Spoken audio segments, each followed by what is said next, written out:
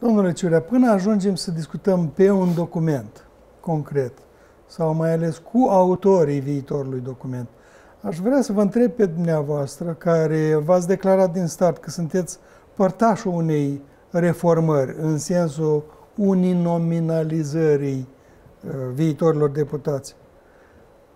De ce acum Parlamentul nu este suficient de lucrativ, între ghilimele, un uh, cuvânt impropriu, dar uh, sugestiv, și de ce cred autorii acestei reforme că un uh, deputat ales uninominal va fi mai capabil de joncționare cu alți deputați, astfel încât legislativul în general să devină mai productiv, mai eficient. Din punctul de vedere a funcționalității Parlamentului, eu nu cred că aceste două sisteme fac o mare diferență. Mă refer la sistemul majoritar în circunscripțiuni nominale și cel actual al de reprezentare proporțională, doar că am senzația că intenția Partidului Democrat este de a ieși în afara Parlamentului și, a, și de a suda mai bine relația care există între politicieni și cei care îi aleg. Pot deci... chiar din start să vă contrazic? Un deputat ales pe listă de partid sau grupul de reprezentanți ai partidului au în spate o expertiză, un program electoral. De exemplu, dacă Partidul Socialiștilor a zis ne întoarcem înapoi spre Est, au niște raționamente, disciplina de partid îi obligă să voteze uh, mai mult sau mai puțin conștient, ori fiecare deputat ales uninominal va fi pe cont propriu, uh-huh. eventual doar cu un consultant și într-un subiect dificil cum e alegerea est-vest, da. va fi destul de buimăcit. Bun, că construiți o linie de argumentare care este paralelă cu cea mea, pentru, uh, pentru că eu vorbeam despre intenția Partidului Democrat, așa cum mi se pare ea mie. Dumneavoastră aveți dreptate când vorbiți despre faptul că într-un sistem majoritar în circunscripții uninominale, aleșii poporului sunt mai preocupați de interesele proprii circunscripții. Ei uh, nu au de multe ori o viziune globală sau o viziune ridicată la nivelul național, spre deosebire de sistemul electoral, care, uh, chiar dacă de multe ori promovează pe liste de partid oameni incompetenți, ei totuși se gândesc de cele mai multe ori, în mod paradoxal, la interesele naționale, pentru că nu le au pe celelalte. Uh, deci, din punctul ăsta de vedere, da, aveți dreptate și sistemul majoritar, așa cum este propus, probabil, deși va accentua relația dintre deputat cu alegătorii din teritoriu, în același timp poate va fi un pic deficitar în ceea ce vrește abordarea subiectelor la nivel național. Dar aceste lucruri pot fi compensate în interiorul sistemului, fie prin crearea, vom vedea, poate în urma negocierilor vom avea un sistem mixt, fie totuși prin aducerea în Parlament, sau mai bine zis, prin plasarea candidaților care să fie nu doar politicieni la nivel local, ci și politicieni la nivel național. Deci bănuiesc că liderii partidelor, vicepreședinții, uh, șefii de departamente, ei vor candida. Ori aceștia sunt liderii care promovează ideea statului în general. Premiza de la care a pornit autorul declarat al acestei reforme, Vlad Pahatniu, care și-a asumat-o, spune așa că partidele s-au compromis, până acum au generat oameni ori anonimi, ori irresponsabili în fața alegătorului, care sunt uh, potențial transfugi. Asta înseamnă că instituția partidului s-a compromis. Noi am știut că s-a compromis din sondaje, dar acum recunoaște un dită mai președinte al partidului care a investit de abănărit într-un partid și acum zice că a suferit fiasco ideea partidului în general? Păi ideea partidului în general nu cred că poate să sufere un fiasco. Deci partidele pute, pot să fie criticate într-o societate democratică, dar noi nu le putem evacua în afara societății. Noi va trebui să le suportăm așa cum sunt, doar că ideea este de a le face ceva mai bune. Acum fiecare înțelege în mod diferit ce înseamnă un partid mai bun. PD-ul a înțeles acest lucru în așa fel încât uh, partidul trebuie să fie, sau oamenii partidului trebuie să fie din popor, să fie mai aproape de popor și să fie cunoscuți din pop- de popor. Această idee are și un aspect poate populist, pentru că vorbește despre o legătură dintre politician și alegători care deocamdată nu există și mulți vor spune că ea nici nu poate fi creată, dar eu cred că asta este datoria unui partid să încerce să vină cu niște idei pe placul oamenilor. Adică PD, în cazul dat concret, nu va renunța la formarea Parlamentului, ci va căuta lideri din teritoriu, oameni cu autoritate, care oricum vor fi ai partidului. Uh, vor fi ai partidului sau treptat vor deveni oamenii partidului și aici este frica a celor care critică această inițiativă. Ei spun că PD-ul fiind un partid mai organizat, dar cuvântul cheie este banii, prin intermediul banilor vor ști să atragă oamenii cu mai mult succes de partea sa, astfel încât își va maximiza șansele. Uh, bun, acestei critici îi se poate răspunde în diferite moduri. În primul rând că nu doar banii contează în, în politică, contează și calitatea oamenilor pe care ai la dispoziție. Și la acest capitol PD-ul așa pare să fie mai bun decât celelalte. Și asta nu este problema PD-ului. Asta este problema altor partide care nu au asemenea oameni de valoare în componența sa. De asemenea, sigur, și banii contează. Sigur, asta este un argument pe care partidele sărace îl avansează împotriva partidelor mai bogate. Dar spuneți-mi, vă rog, în această lume, în Statele Unite, în Europa, campaniile electorale se fac fără bani? Eu cred că nu. Banul este un element important. Astăzi un partid, dacă vrea să câștige alegerile, trebuie să dispună și de bani. Pentru că este pervers să îndemni oamenii să-ți facă campanie electorală, să-ți promoveze candidații și în același timp să nu-i plătești. Așa cum pretind că vor acționa unele partide de la noi. Dar frica celor care critică această lege se referă probabil mai curând la post-electorale, nu atât la costurile campaniei, cât la plata pentru un anumit gen de vot, plata pentru o anumită uh, loialitate.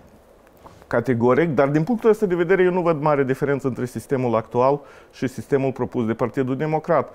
Și, în ace- și acest sistem despre care vorbim astăzi, care există astăzi, de reprezentare proporțională, în acest sistem se practică acest lucru. Noi știm acest lucru și se practică, eu zic, destul de masiv.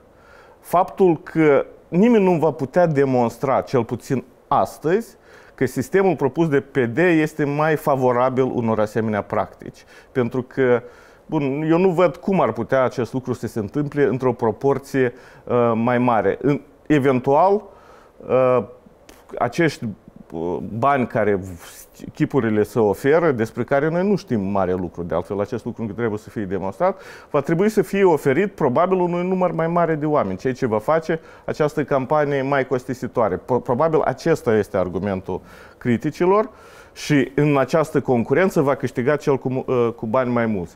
Dar, dar din punctul meu de vedere și această campanie este costisitoare. Deci nu văd diferența între actualul sistem și sistemul viitor. Ele, din punctul ăsta de vedere, sunt practic identice. Iarăși vreau să revin la avantajele pe care și dumneavoastră le-ați invocat, că omul ales în circumscripții unii nominală va fi mai legat de alegători, îi va reprezenta, dacă nu cumva în felul ăsta se va crea o falsă impresie că alegătorii vor avea un reprezentant al unor interese locale, așa cum s-a întâmplat de altfel cu președintele. Oamenilor li s-a dat voie să aleagă direct președintele, ca după aia să descopere că el de fapt nu are pârghii nici măcar să-și onoreze niște promisiuni minime și atunci nu cumva se va întâmpla același lucru cu deputații care se vor pomeni neputincioși în fața acestui moloch parlamentar. Este o întrebare absolut legitimă Tocmai din această cauză vorbim despre faptul că deputații aleși în circumscripție, atunci când vor ajunge în Parlament, nu vor putea să acționeze doar de capul lor. Ei vor avea nevoie de ceva, de o formațiune politică, de ceea ce numim noi partid, de o fracțiune. Și coagularea sau uh, chiar dacă acești deputați vor fi independenți, ei se vor uni în, în interiorul Parlamentului, în cadrul acestor grupuri, care probabil vor avea uh, vor fi standardele acolo partidelor politice. Vor adera fie la PD, fie la socialiști, asta vorbesc de candidații independenți. Deci acest lucru se va întâmpla în mod inevitabil, pentru că deputații au nevoie de o mașinărie politică care să le promoveze interesele și această mașinărie rămân uh, a fi partidele politice. Deci asta vor este fi soluția. sisteme complet uninominale, partidele riscă să dispară atunci ca centre de coagulare. Uh, nu dispar toate partidele politice, sistemele uninominale, sistemul majoritar în circunscripții uninominale conduce la reducerea numărului de partide, și o guvernare majoritară de tip anglosaxon Westminster atunci când un singur partid se află la guvernare și de obicei unul, două în opoziție. Deci noi vom avea o diminuare a numărului de partide și acest lucru în fond tot este salutat de către alegători. Multă lume dorește o reducere drastică a numărul de partide în Republica Moldova. Sistemul dat pe care îl avem, din contra, favorizează coalițiile largi, care, am văzut, creează anumite probleme. Nu sunteți reprezentantul direct al PD-ului, dar totuși v-aș ruga să răspundeți la întrebarea asta. Cineva vede, de fapt, un tertip în reforma asta, că vezi, Doamne, Partidul Democrat nu are șansă să ajungă peste pragul de trecere și acum schimbă metoda ca să rămână la guvernare. În primul rând, Uh, vreau să vă întreb dacă e condamnabilă dorința de a rămâne la guvernare și, doi, dacă seamănă tertip.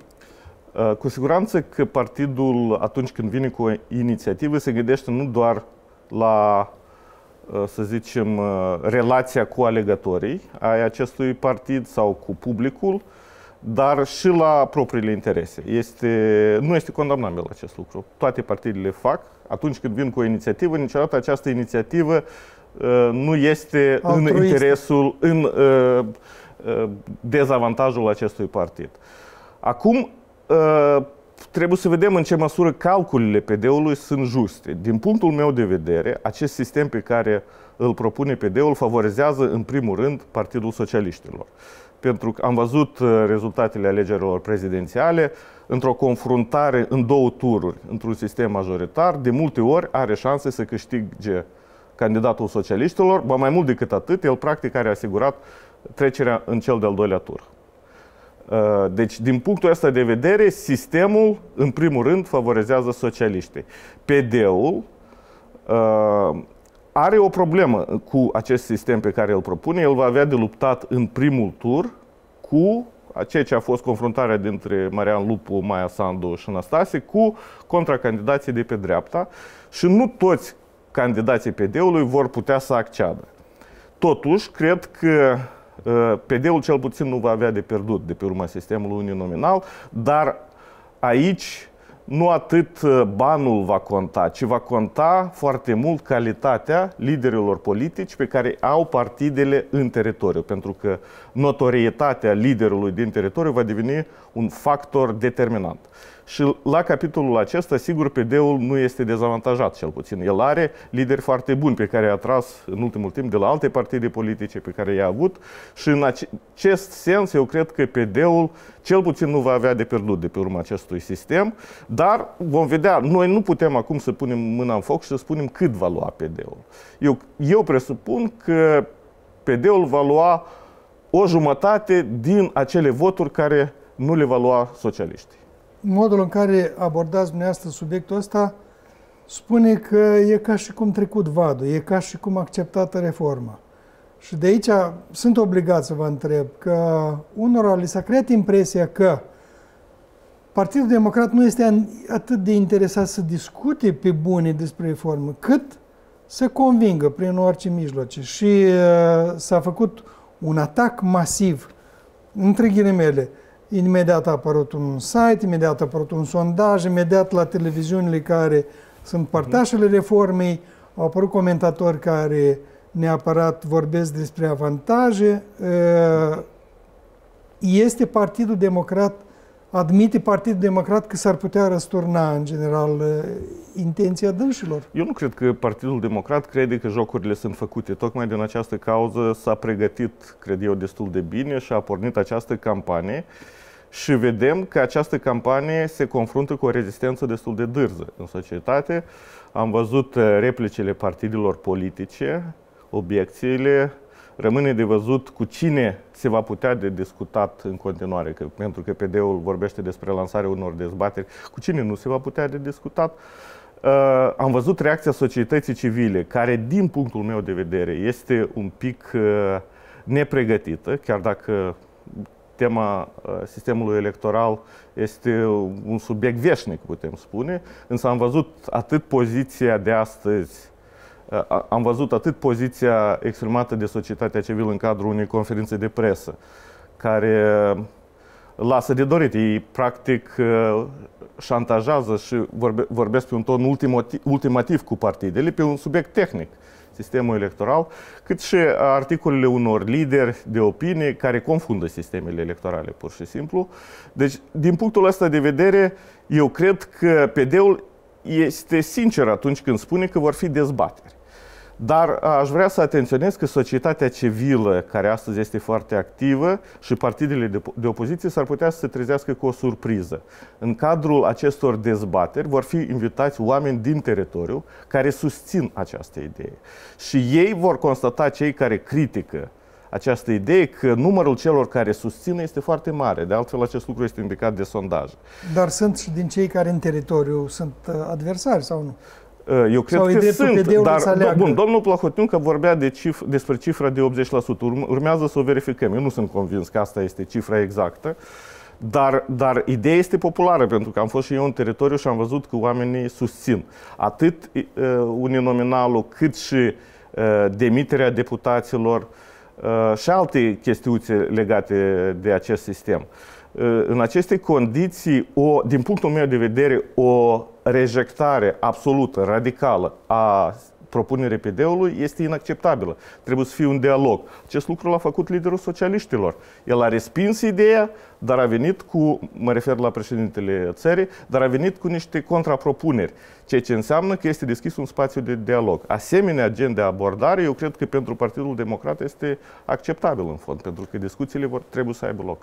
Dar dumneavoastră admiteți că ideea, aceeași idee propusă de altcineva, ar fi avut mai multă priză sau mai îngăduitoare ar fi societatea civilă cel puțin, dacă n-ar fi venit de la Plahatniu, care astăzi, din păcate, are anti-rating, este prezentat sau, uh, uh, mă rog, este acreditat în mod deliberat ca un uh, întruchipare a răului. Dânsul a și-a asumat rolul ăsta să prezinte Mm, un proiect care din start are o rată de nepopularitate foarte mare. Uh, orice idee care vine din partea domnului Plahotniuc, ținând cont de ratingul lui, este uh, uh, primită în furci dar, sau luată în furci. Dar totuși trebuie să admitem că domnul Plahotniuc și-a asumat acest rol de președinte al Partidului Democrat, lider al celui mai puternic partid din Republica Moldova. Uh, nu cred că era cazul pentru el să mai stea în tufare, pentru că tocmai acest lucru ar fi stârnit și mai multe întrebări și ironii. Uh, da, uh, PD-ul, trebuie să recunoaștem, vine val vârtej acum peste societate și își încearcă să-și demonstreze, să zic așa, potența, puterea și este o luptă. Aici, sigur, societatea civilă și partidele din opoziție uh, nu sunt de acord cu asemenea abordare. Uh, aici e vorba și de cine este cel mai tare în parcare, să vedem. Dar este una când vii cu o idee proastă sau cu o idee din start uh, compromisă și este cu totul altceva când vii cu o idee care va fi susținută de partenerii externi, în cazul în care va fi, că nu știm, cu o idee care este susținută de populație, cu o idee care poate fi dialogată cu principalii parteneri discutată din Parlament și la un moment dat ai te întrebi, dar de fapt cine se opune acestei idei? Câteva ONG-uri, câteva partide extraparlamentare. Dacă se va ajunge la o asemenea situație, atunci nu va mai conta cine a venit cu ideea Plahotniuc sau altcineva. Cei care sunt câțiva, o minoritate foarte mică, vor trebui să bată în retragere. Mai contează cum va promova și va apăra această idee Partidul Democrat. Adică mijloacele într-adevăr la vedere, astfel încât să nu trezească îndoieli. Categoric, PD-ul va susține această idee, dar eu nu exclud că vor exista compromisuri, vor exista concesii atât din partea PD-ului cât și din partea celor cu care se va discuta. În cele din urmă, nu cred că intenția cu care pornește PD-ul, pe care încă noi nici n-am văzut-o de altfel, va fi exact rezultatul final. Deci proiectul de lege cred că va suferi modificări substanțiale.